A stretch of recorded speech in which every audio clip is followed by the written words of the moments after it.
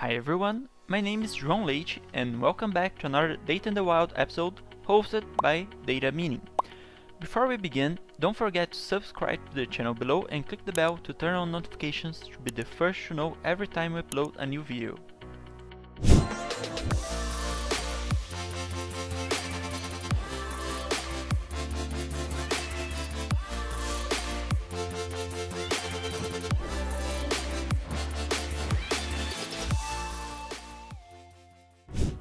Today we are going to be talking about absolute and relative paths in Alteryx Designer.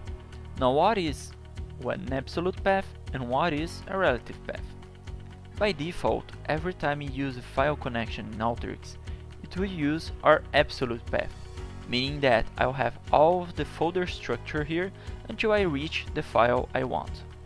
In this project, I have a folder here where I have my workflow, I have some input files, and have the results folder.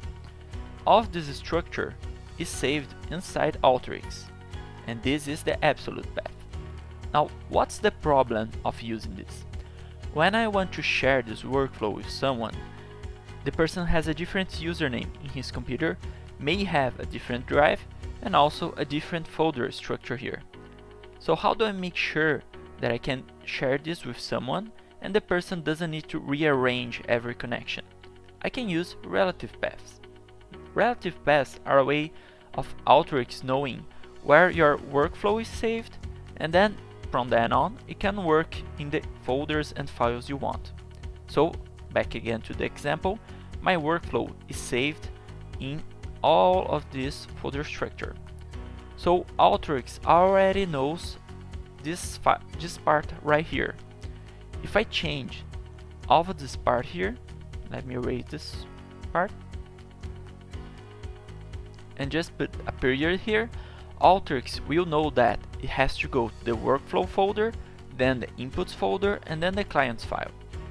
As you can see I changed this manually so I can come here to every file connection I have and just change the flow here, the folder here to the period and then it will be in the relative path. If I have too many file connections, the best way to do this is by coming to Options, Advanced and Workflow Dependencies.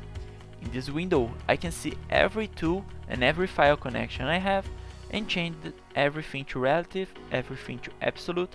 I can also edit them individually. So let's say I want this to be absolute path.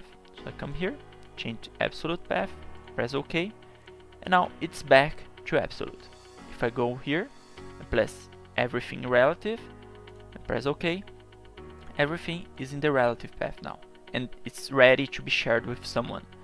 By coming here I can also test to see if the connection is being successful or not. I can change it everything to absolute just to see the folder structure or check something if I want to. But let's make it relative for now and run the workflow and you can see it runs just fine. Now what tools can be configured inside workflow dependencies?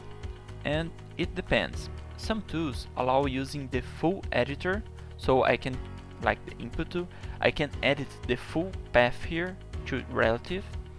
Some tools only have some partial editing, so not every aspect of the connection can be edited.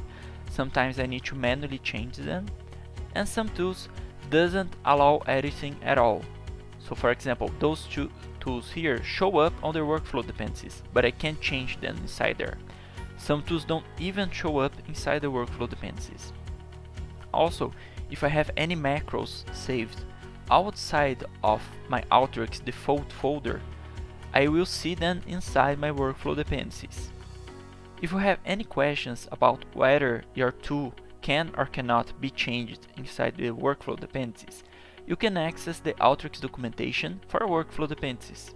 Inside here, you'll see how they work about the relative absolute paths, the UNC, that's the Uniform Naming Convention for network resources, but down here you can see what tools can be fully editable, can be partially editable, and cannot be edited at all. So that's it for absolute and relative paths inside Alteryx Designer. Have a great day! If you have any questions or suggestions for future videos, please comment down below. Don't forget to subscribe to know when future videos are posted. Thank you for watching.